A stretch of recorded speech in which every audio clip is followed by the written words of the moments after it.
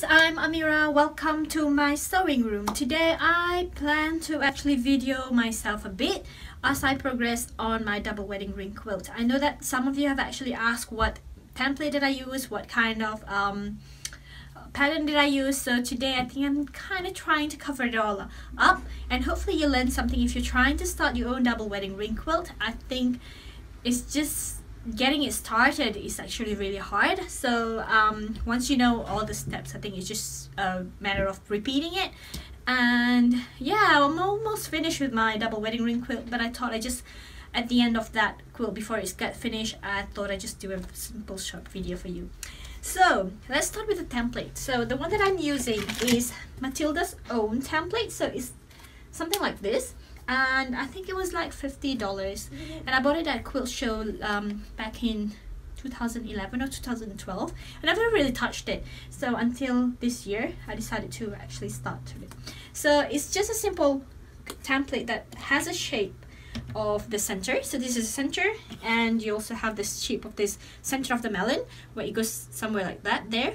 And then you also have two different kinds of curve where you can patch them in patchwork. So you have C, D, E, and F. So that basically you need to cut two of them. So two of these, two of these, and two of these. So that will be patched together like that, like that. And then the other side will be the other side. So the E is only one of them actually. So you only need five if I'm not mistaken no you need six. So you actually need six of them. So this is going to be patched like that way and then the other side will be reflected that way. And in my um, quilt I did use a patchwork version of it and I used a scrappy looking kind of thing. So I simply could just cut a lot of this piece a lot of this piece and a lot of this piece and just start piecing them together.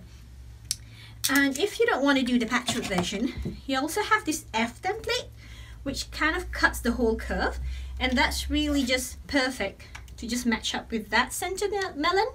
And that would make just a perfect melon for that. But you still need to cut this E piece just for the end or the center of that. And that would be pieced together. This template is quite good. So you can see there is holes there which you can mark and that will give you a precise quarter inch. I didn't really use that. I'm not really detailed that on that I just eyeball my quarter inch and I'm just using a quarter inch foot on my machine as well. So I'm just going to be quickly showing you what I've done. So I have this curve piece. So this is basically one of my curve piece. So basically I have one of these, um, two of these C piece, D piece and E piece and basically you can just piece them with a quarter inch seam allowance and I press them going out like um, four of them is going out two of them is going this way. Or you can do three um, since there is only five seams so three would go that way and two the other way. There's no particular reason why I just like to press the seam to the side. And after that what you need to do is put the center piece like the top piece there. I would like to just put it like that. And I'm just gonna put that like so. And I'm just to sew that together on both ends. So what you're going to end up with is something that looks like, I'm just going to show you something if I have one. Huh. Well, I don't have any actually. Maybe I should piece one. So I'll piece one for you. Hmm.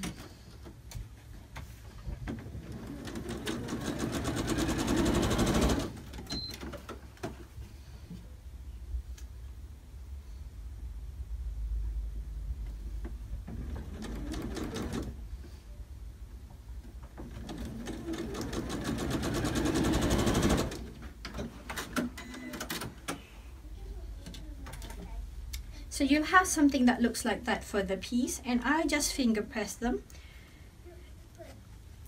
like that. This one I press with uh, these seams I press with uh, an iron but these seams I just press them with a finger press.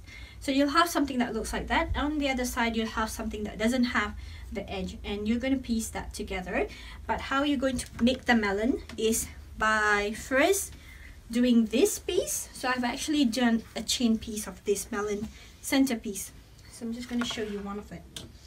So what I've done is basically piece one melon, the center melon, in my case the white melon here the small one using the template that is provided here so that melon will match perfectly with your piece patchwork piece and you're going to make that first and then after that we're going to piece this on top like that. So that's sort of going to fit just nicely with all that. So what I do normally is I fold this in half give it a little press at the end just to give that um, slight mark and you can see that center. I match it with this center here. And I take a pin and just pin the center so that it is on the center. Um, yeah so I don't use much of pin but I use it at the center. And what you want to do is you want to sew it this way so that this um, concave curve is at the front. And you can also pin another one so that your seams would be matched. So you have like that matched seams but I normally would just see it with my eyes sort of like that. So I am just gonna piece that together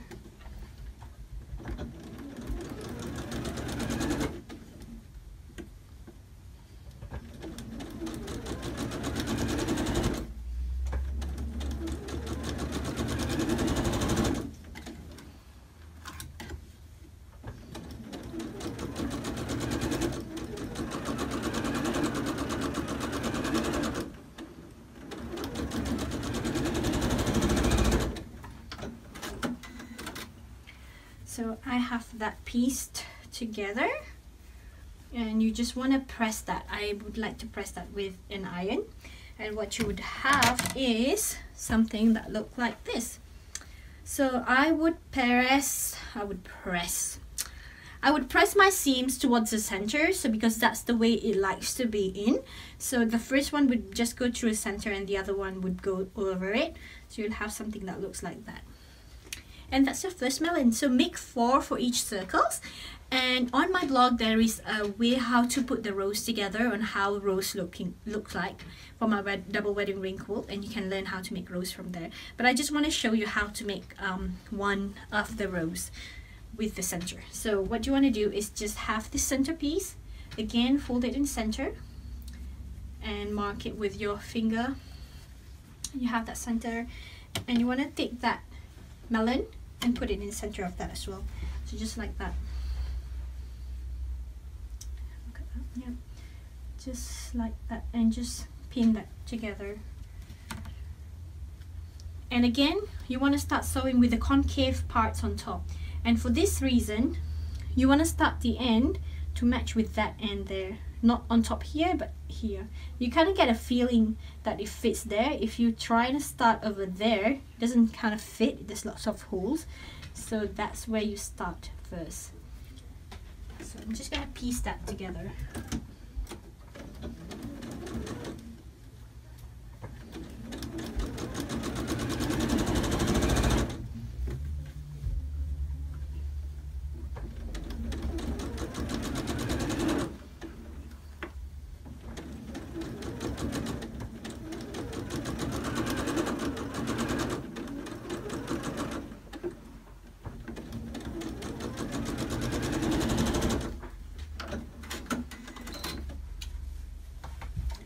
So once you've got that, it will look something like that. And now you are ready to do the next one. So um, I would normally go clockwise. So if, if you see in my blog the step by step, you will know that I do not do the whole circle.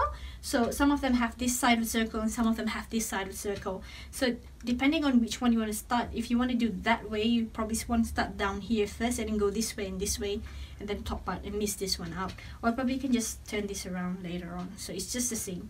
So basically what I want to do now is piece this side together, which is going to be the white color. So because I'm alternating white and the red one for the checkers effect look. And you can see much better in my Instagram photos of the finished quilt top or the blog. Not finished yet, but almost. Yep, so now what I'm going to do, again the same thing, is fold this into half, match the corners with the corners, and give it a press take your white piece, a melon, and just put the center in, pin it at the center, and bring this one. So now we are going to start piecing this piece together with this one. so you want to match that square with that square at the edge and that should bring the points on points so I'm just going to sew that piece just show you quickly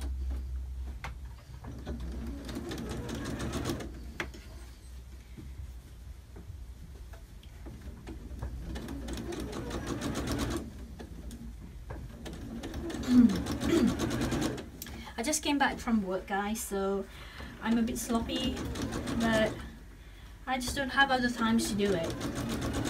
In the morning I am busy with getting things prepared and sometimes I paint in the morning, I meditate in the morning which I love to do now. So I do less sewing these days but I think I'm kind of enjoying it.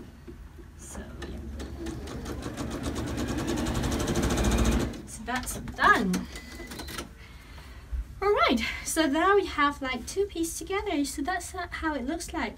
So now if you want to look at the back, what I did is just that it will kind of fall where it wants to be. So that's how I press my seams as well. So you look at that, it's going to press towards the white, but I don't really mind. It's going to go towards the white. So that's going to go towards the white as well. And it's just going to press nicely if you do it in um, clockwise so that you'll have that seams going all one way. Alright, I hope you learned something.